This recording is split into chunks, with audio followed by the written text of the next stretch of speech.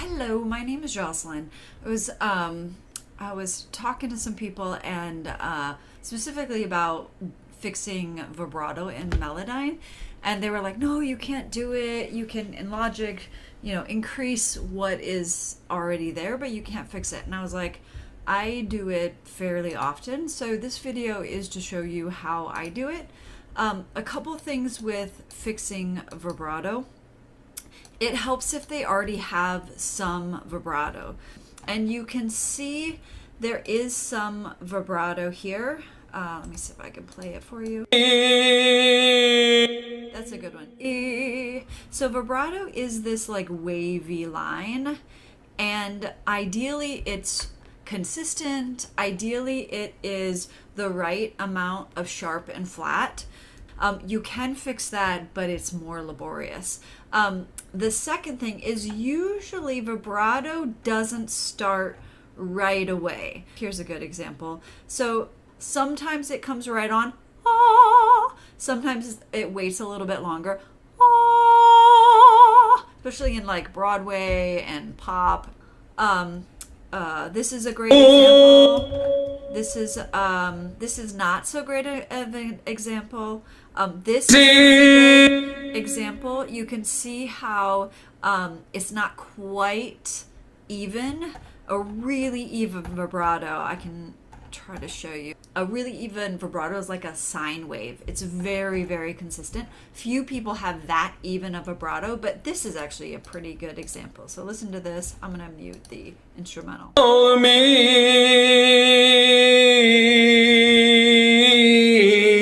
Okay, so he did vibrato here. He has this little um, this little like scoopy thing.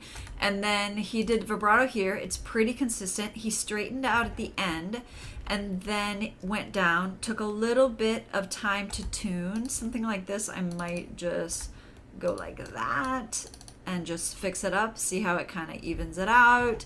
And then he had a little, um, a little trill here. Um, and then he straightens out at the end. That's super common to straighten it out. Um, you don't have to, but it is probably more poppy than it is classical. Uh, with classical, you want to like, ah! vibrato goes to the very end of the note. So with this, with his voice, oh, this is a really great, this is a great example. That's a nice one. So like with an example like this, if I just wanted to make it better, bigger, I could go to this um, pitch. I'm gonna, I'm gonna really exaggerate it. It's gonna sound like that. beautiful. Okay, you wouldn't want to do that. Um, you could straighten it out. beautiful.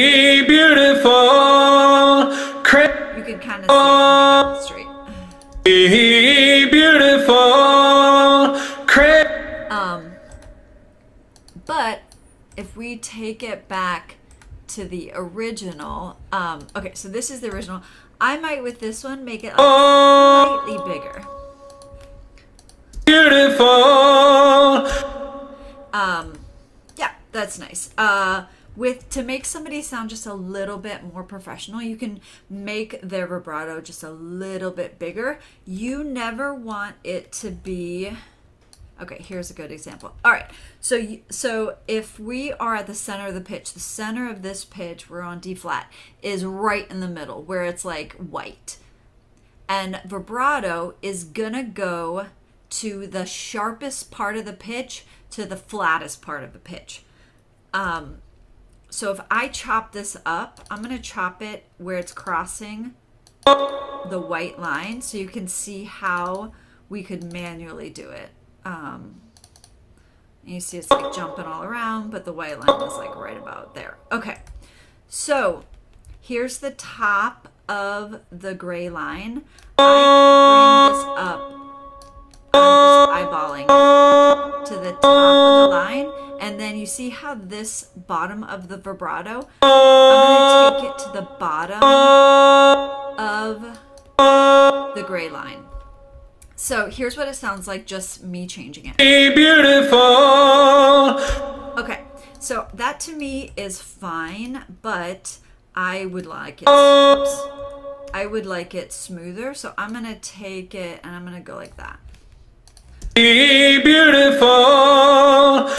Okay, because it's now evening out. You saw it has some of those hitches. So this song is in 120. Very, very common. This is one full beat, and this is a um, quarter note. So from here to here is a quarter note. And I have one, two, three, four, five, six, six instances, let's say.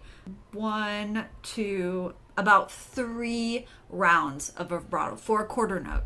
If we're in 120 BPM and we have three vibrato curves, the vibrato um, cycles per second is about six. Um, three vibrato, three vibrato cycles in a half a second, so six vibrato cycles in um, in a full second, which is very normal. A normal vibrato cycle is between five and seven. So if you want to use that calculation um, to help you find what kind of vibrato should be, um, usually classical singers often have like a slower vibrato. Um, R&B singers often have a slower vibrato. Um, pop singers often have a faster vibrato. Um, but you can do whatever you want.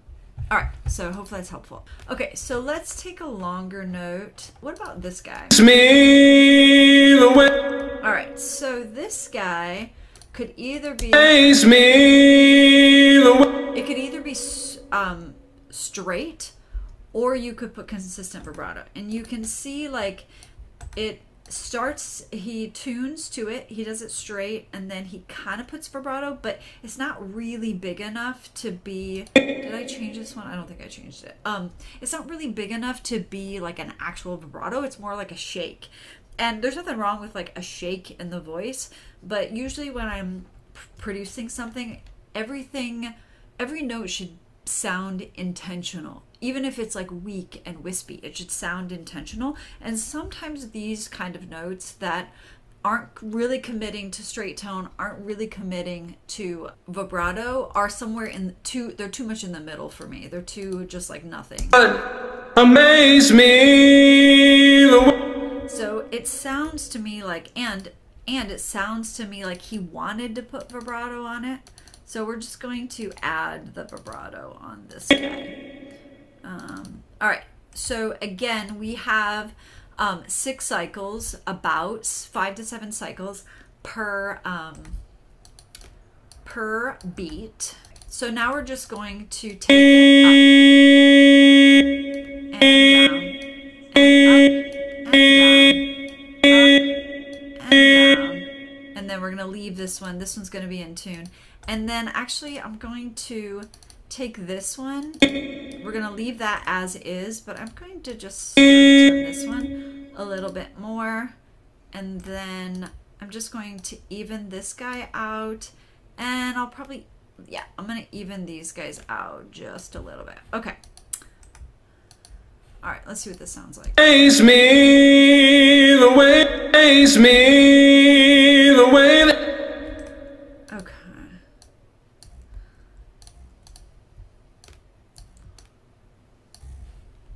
Amaze me the way. Okay, so that sound to me sounds better. All right. Um, me the way. one, two, three, four, five and a half, six. Okay, great. This is very straight. So the other thing I could do is if you're like, oh, I really want the vibrato to start sooner, after you make it so it sounds more even, you can bring it and we're gonna make it wide. Let's see what that sounds like. Amaze me the way. Amaze me the way. This thing I'm hearing, but it's not the end of the world. Let me just uh, go a little bit smoother. Ama- Amaze me the way that. Yeah, and you can, it sounds to me just like a little bit more um, sophisticated. And let's bring it, let's like go like that. Let's see what happens. Amaze me the way. Okay, I don't like it. All right. All right, let's see if there's anything else. Okay, see, look at how beautiful that vibrato is. Like this one is great. The only thing I might change is I might just see how the center of the pitch gets a little bit wonky. I sometimes will break if it's like if it's vibrato and then it's just like the whole pitch is going flat. I'll just break it up in the middle and then bring bring it down a bit and then sometimes eyeball it. Okay, let me see if there's anything else. This is like a little bit wonky. That obviously goes up there. Alright, uh, see this is lovely, lovely vibrato. A mm, little bit wonky. Okay, so let's go back. Let's do one more and let's change. Where was it? Where was that one? Okay, this. This to me is like one of those things that's like not quite committing to vibrato and not quite committing to um, straight tone. Holding me, holding me, holding me. I probably, let's do this. Let's make it more straight up to me. Let's make it like vibrato from like here on. So like, or maybe maybe right here. So I would take these. You can just double click it. I would make them a bit straighter, and it's nice to go straight into the um to make it straight into the vibrato because it'll like smoothly go into the shape the shake of the vibrato um and then I'll probably take these three. So I usually cut off the beginning too, because for the most part, I want it to sound very, very natural. And sometimes when you mess with the entrance of the note, it starts to sound artificial, and I don't want that. If anything, I'll mess with the middle um, before I mess with, mess with the beginning and the end of a note because it stays the most natural. So, so if I straighten that out, I straighten that out, and then let's say I start the vibrato like right there. You can see his little cycles of where he probably wanted vibrato. And again, this this person has has a natural vibrato anyways. So, um, all right, and we're gonna leave this guy at the end alone. Um, so that guy I leave alone, this guy I leave alone, and then we'll fix everything in the middle. All right, so the next thing to do is to try to make them all even, and they don't have to be perfect, which is why I'm not making them, um, why I am eyeballing it more than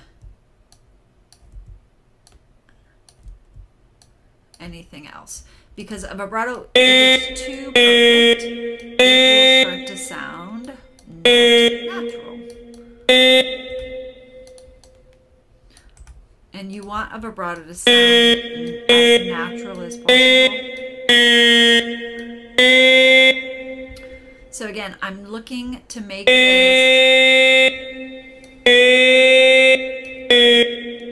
the top of the pitch. Usually when people start vibrato, it's not to its full width right away. So like this little guy, I'm not going to take to the top of the line and this one I'm not either. And this one is like almost, almost. And then we have these other ones, we're taking them to the top of the line. Yeah, good. And then when you end a vibrato, a lot of times the same. All right, let's see what this sounds like. Holding me. Ugh. All right, so we're gonna. It's out of tune. I cannot. Whoops. To me. All right, here we go. So this is starting at. Um, Her crazy's beautiful to me. She's on pre. Okay, so all right, so this is what it looks like. I tend to cut things up a lot just because I want more control over them. Sometimes cutting them up messes them up, and that is no good. Um, but a lot of times I have more control over the way the note sounds. One of the things with Melodyne is that you I always am using my ear. I have a good ear. I've been singing forever. I know what it's supposed to sound like. So you have to depend even when you're using a program like this, you have to have to have to keep working on your ear and keep refining it. And sometimes just like any other mix or production thing, um, you have to go away and then come back and if there's still anything you hear, So here it is one more time. I don't know if I fixed, oops, I don't know if I fixed those notes at all. So, um, yeah. Her crazy's beautiful to me.